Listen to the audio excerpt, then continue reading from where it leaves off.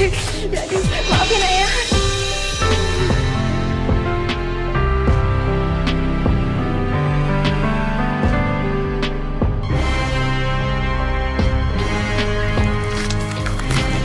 Jangan lupa bagian dulu. Tunggu.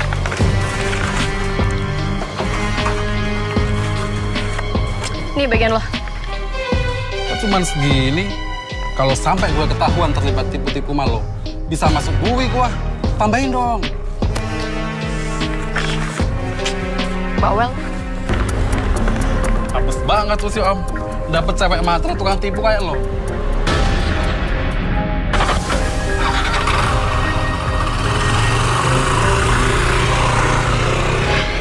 Genta itu kelihatannya anaknya baik ya, nak ya? Bulan, Bulan sama Genta itu kan masing-masing lagi patah. Kenapa nggak coba deket aja? Ibu, kok ibu tahu? Ibu tadi dengerin obrolan kita ya? Bapak pulang tuh.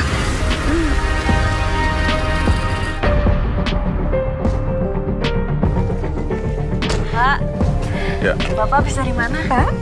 ya dari kantor lah. Emang dari mana?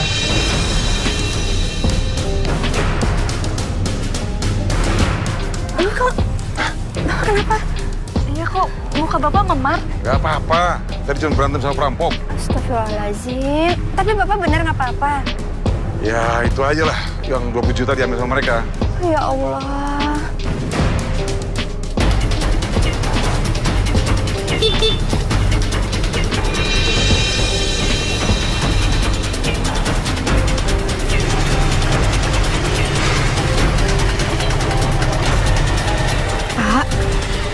Bukannya Alwi yang mantan anak buah Bapak yang dipecat gara-gara godain bulan kan? Iya. Tapi sekarang itu dia sudah jadi manajer. Kalau seandainya dia ngelamar bulan, ya sudahlah, terima aja.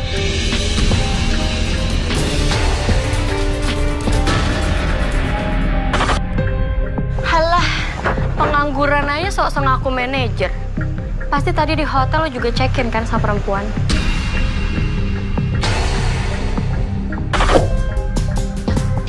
Nggak usah dibahas. Yang penting sekarang itu, aku udah punya kartunya Pak John. Kita lihat aja nanti, dia bisa apa. Kalau dia nggak mau nurutin semua kemauan aku. Jadi kamu mau morotin Om John? Ya enggak lah. Misi buat meras Pak John.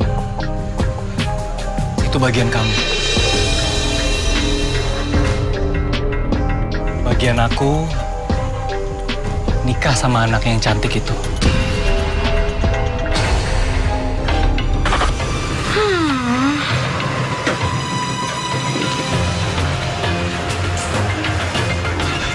Kamu ngapain ke sini? Aku cuma pengen nanya. Kenapa kamu selingkuh sama om-om itu di hotel?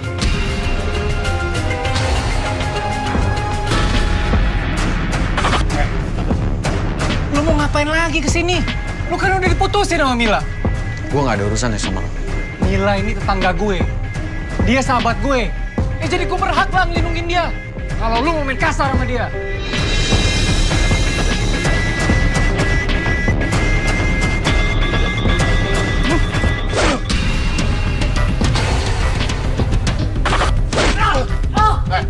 Gue gak pernah main kasar sama dia. Jadi gue minta sama lo. Lo jangan main kasar sama gue. Cukup, cukup. Pergi kamu sekarang. Kalau kamu nggak pergi, aku bakal teriakin kau maling. Mil, Pergi. Balik! Balik! Balik!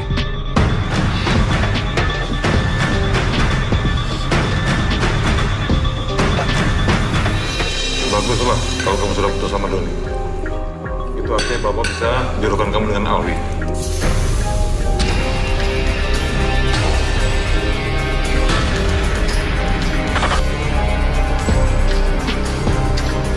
Baguslah kalau kamu sudah putus sama Doni. Itu artinya Bapak bisa jodohkan kamu dengan Alwi.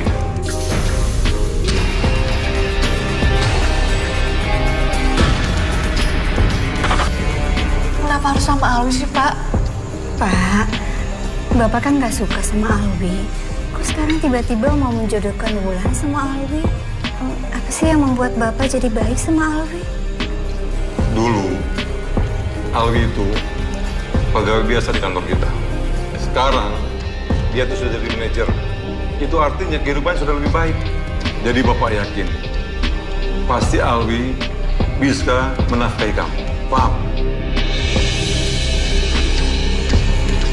Bulan mau, nak. Nggak mau, Bu. Harus mau.